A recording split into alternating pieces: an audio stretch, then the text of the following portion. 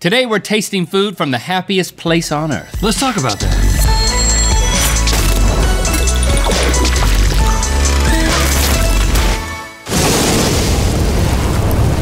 Good mythical morning. Yeah, today we're gonna do some yoga with giant snakes. Hey. And then we're gonna be discovering the link between Nicolas Cage and deodorant. There is one? Yes. I'm told. But first, we're going to Disneyland, y'all. Yes, Disneyland, the place where dreams come true, specifically food dreams. And I'm not talking about the one where you and your eighth grade crush swim in pudding, and not that I would know anything about that because it's definitely not a dream I've ever had. No, we're talking about the food, not Holly, at Disneyland. Disneyland is home to unique and intriguing food that can only be purchased on the premises, and that exclusivity makes me want it so much more. But is it all really great? And what is the best? It's time for Fairy Tales Can Come True if we buy Disneyland food and chew.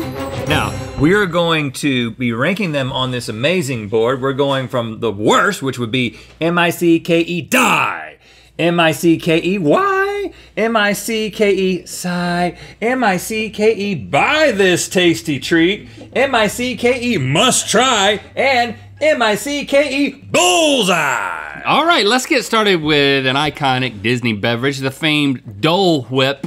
Here it is, a unique Disneyland frozen treat that people obsess over. Apparently, um, I haven't had this one ever. Now ours is a little melted. It, you know, it was acquired from Disneyland and it was brought back. Um, So we're taking that into account, the fact that we're not currently at Disneyland, we're not in the atmosphere. Some of these items have changed a little bit on the trip up from Anaheim.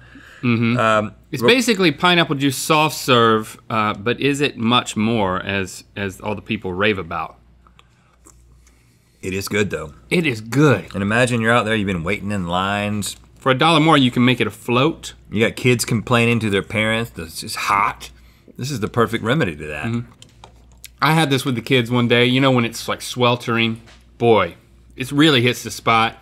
It's Well- amazing. It's magical. I think they're all going to be pretty good. So I just think that all we can do is sort of just put it in the middle. Yeah. You, want to put it at three or four? Yep. So I'm gonna go right there at four. Okay. All right. Now, we're moving along to what I believe is the most iconic dish at uh, Disneyland. I know you do. The corn dog. Bring in the corn dog. Now listen, I actually we once took a mythical crew trip to Disneyland and I made everyone eat corn dogs for lunch. I was like, I don't even care if you've never had one. I don't even We had to plan our whole trip If you're around. a vegan, you have to eat one. Or you're fired. No, I didn't do that. I would never do that. It's like we, we had to be at the corn dog castle at a time when everybody was hungry and Rhett gathered everybody around. And he's like, I'm buying all the corn dogs. Yeah.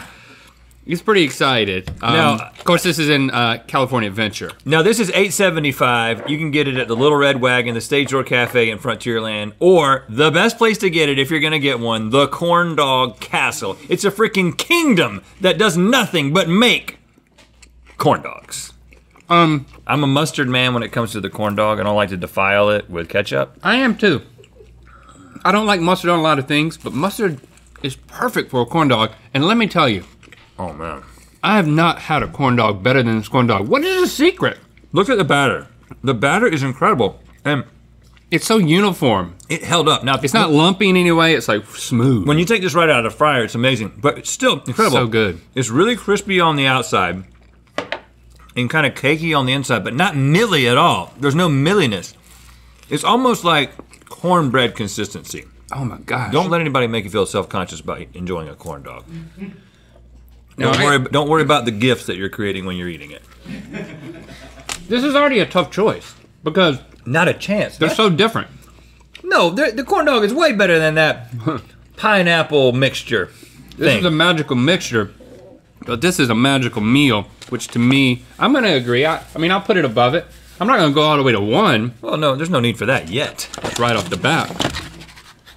Right there, corn dog. All right, we're gonna get even more meaty now. Uh, the Disneyland turkey leg. It's a time-honored tradition of eating a gargantuan hunk of meat on a stick. Now, let's bring these suckers in. They are absolutely massive. Good now, gracious! I, I have not seen these. I, I see these at like a fair. Oh, I've seen people walking around.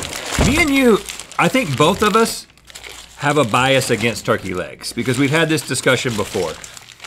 There was a there was an It's like a genetically altered chicken leg. well, I think you know what this. I, I, this all goes back to the one time at the state fair. Do you remember this? Yeah, When I we do. were in high school and we thought these would be great, and we got them at the North Carolina State Fair, and we both took a couple of bites, and we were like, "There's Not- not something great. just too rich, or I don't know what it was." But for ever since then, we've just looked at people enjoying turkey leg, uh, turkey legs with disdain.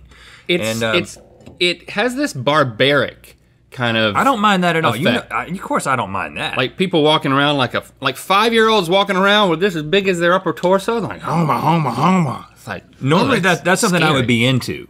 That's what I'm saying. So it's kind of Uh-huh. weird that I'm not into it, but it's been many years. Let me go back. It's remarkably hammy. How do they do it? How do they do it, Rhett? How do they make it so remarkably hammy? Now, Ellie told us that one of the secrets is that these are exclusively made by from male, not by male turkeys. The male turkeys are not making the oral turkey legs. These are male turkeys, tom turkeys they call those. And while a lot of other ones might be female turkeys, and that's and there's a distinct difference in the taste of male and female turkeys. And for some reason, Disney said, "Let's do male turkeys only." That's the secret, Link. That's how they make it so Does that make you like it more? I don't know, because I am a man. I mean, I like a good chicken leg, but when I'm at a, a park of happiness, I don't want to. I don't want to have like the animal parts in the front of my mind when I'm eating. It's This like is too too not dissociated yeah, from. this is this is so dissociated. It's Right. like it's What such a part of- beautiful package of right. What part of the animal is a corn dog? It's like, so I'm just gonna, you know, I, I think it goes down here. I don't like it as much as the as the Dole Whip. I'm in agreement. M I C K E Y. All right, now if I had to pick one city for Disneyland to immortalize, my first thought would be Buies Creek, North Carolina, our homeland. But they chose New Orleans instead, which is fine. Uh, if you visit that section of the park, you apparently must try a Cafe Orleans Monte Cristo sandwich. I have not tried this. This is absolutely incredible looking. Um, turkey ham and Swiss sandwich, fried in a light batter, dusted with powdered sugar, and served with a berry puree. How have I missed this? It's got a. It, so it's almost. It starts out savory, and then as it moves towards the outside, it gets it sweet. But if you dip it in this, the berry puree, first it starts sweet. Yeah. Oh my wow. Oh my wow. Good gosh. It's like eating a meat and cheese stuffed donut. It almost seems wrong. Mm-hmm. You know what I'm saying? It's I, it's like when you're you're doing something that's wrong but feels right. You don't want anybody. That's, so, you, that's what's happening right now. so many flavors hit you. The fact that it's got all the food cheese- groups. The fact that it's got cheese and it's got some sweetness. Mm-hmm. I don't want to dethrone the corn dog. I really don't want to do it, but I'm really leaning towards it right now. I gotta taste this corn dog again. That, who would have thought you could stick the sandwich in, a, in some berries? I think the corn dog is just a little bit better. Well, let me. I'm coming down here. It's just more refined. It yeah, it's two things, but it really becomes one thing. This is There- just like As the corn dog king himself, I feel like I have the authority to issue a new decree. you think so? The Monte Cristo sandwich is better than a corn dog. I feel like you got to go with me on this, man. You got to ride this train. I am on the fence, so I, I I will gladly go with you. I mean, I never thought I would. I, I never thought I would say it, but it's absolutely incredible. The corn dog is- king has dethroned himself. Sorry, I mean you can't can't be a king forever. M I C K E must try. Okay, now we are moving to something that is available in Cars Land, Love which is my favorite place in all of Disneyland. cool, man. Uh, I've never heard of this either. It is the bacon mac and cheese cone. Creamy mac and cheese littered with bacon bits packed into a swirly golden bread cone. What? I mean, how? I've been world- there. I did. What How- are we? how are we what missing are we doing? this? We're waiting Yeah. in lines for rides like losers. We're idiots. We're Disney idiots. stupid. Gosh, I hate us. It's like a cornucopia of genius. Can you hear the ocean in it? I can hear mac and cheese. I can hear my future in its grand enjoyment.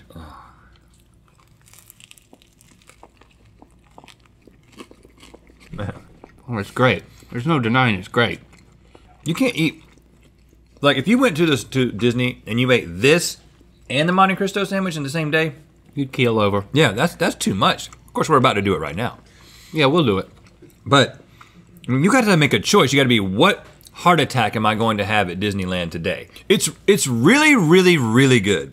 I would definitely get it, but there's in my mind there's no way it beats either the corn dog or the uh, the Monte Cristo at this point. I'm a fan of the Dole Whip. I don't want to move that down. Okay, I personally am, am more a fan of savory than sweet, but you know I made the the corn dog king decision, so I'll let you do that. We're moving that one into slot number five. And now let's eat a churro. That you can find them all around Disney, but we got our hands on a special edition churro. This one is the rose gold churro that's found outside of Sleeping Beauty's castle, which by the way is smaller than you think it would be. Yeah, it's bigger in your mind. Yeah, even now, it's, it's growing in my mind. Right. Uh, Five dollars twenty-five cent for this this churro. It's got um, strawberry flavored sprinkles and gold sprinkles on it. Oh, that's magical. It smells good, and it is very pretty. Let's eat it. Now again, ours was made the trek back from Anaheim, Churros really need to be enjoyed fresh off the cart. right out of the cart. But if we put ourselves back in that place, that's a that's a very unique experience. It's got everything you would expect from a churro. I still I still think there's cinnamon in it. But then that strawberry hits you and you're like, whoa, this is surprising. I really like it, but it's not. It's not a mind-blowing experience. You know what I'm saying? Not to it's me. not like it's not the kind of thing that I would gather all my employees up and force them to eat. You know what I'm saying? I do that with corn dogs. Right. and I'm kind of biased against strawberry flavored things because I usually don't opt for those. So if you love strawberry flavored things, you're no doubt going to put this higher than we're about to rank it. Um, so let's rank this, and then let let's let's see what we're going to do because there's nothing in the number one slot, and we're not going to put the churros there, right? We agree. right. So I, I actually think I'm actually putting this pretty low. Oh. Ellie Ellie was talking huge. She loves this thing. maybe she was throwing I'm sorry, off. Ellie. I think this is your number one, Ellie. Yes. But for us, I mean, I, I'm gonna put it. It's better than a turkey leg. We'll we'll give we'll give you that. I'm gonna put it. I'm gonna put it way down here. But, Now- but here's here's the thing. Here we got to We got to talk about this. Well, Ellie pointed something out, and I do want to take this into account. She pointed out, reminded us that the Monte Cristo sandwich is available only at a reservation only cafe, the Cafe Orleans, and it's $21. Twenty-one freaking dollars. Whereas you can get this corn dog for $8.75, which is a lot for a corn dog, but you can get it at a freaking castle, which is actually just a little booth, and two other places. So it's readily accessible, and it's the perfect thing to walk around Disney. So I think there's the, the uh, portability and the availability and oh, the is Cor- affordability. Is Corn Dog King trying to take back the throne? I'm just saying. Well, the corn dog king can do what he wants. the Corn Dog King needs to needs to consult with the hand of the Corn Dog King, okay. All right. What do you? What do you? who is really the guy with all the power. what do you- Let's be real. What do you think? You're just a, a sniveling child who rants about corn dogs all day, Oh, and I'm making decisions for the realm. You think I'm like Joffrey? Is that what but you're trying to say? I do agree with myself and the thoughts that I planted in the king's mind that we gotta, we gotta. This thing is well, not in its current form, but this is a beautiful entity. It was a that- beautiful that, entity. must be enjoyed. Move that to the number one slot. and it looks like a number one. Move the Monte doesn't Cristo it? to number two. Move the Dole Whip, which I just can't get enough of, to number three. Then you got the cone of happiness, the churro of strawberryness, and the leg of I say nastiness, but you might love it. Forgettable The turkey. number five. There it is. How many of you have we upset today? Let us know in the comments. I'm Click- sure you will. and click through to watch us literally do yoga with snakes. Oh, it's gonna be scary. Whether you're at the happiest place on earth or lounging at home, you can get comfy in one of our GMM hoodies and t-shirts available at mythical.store.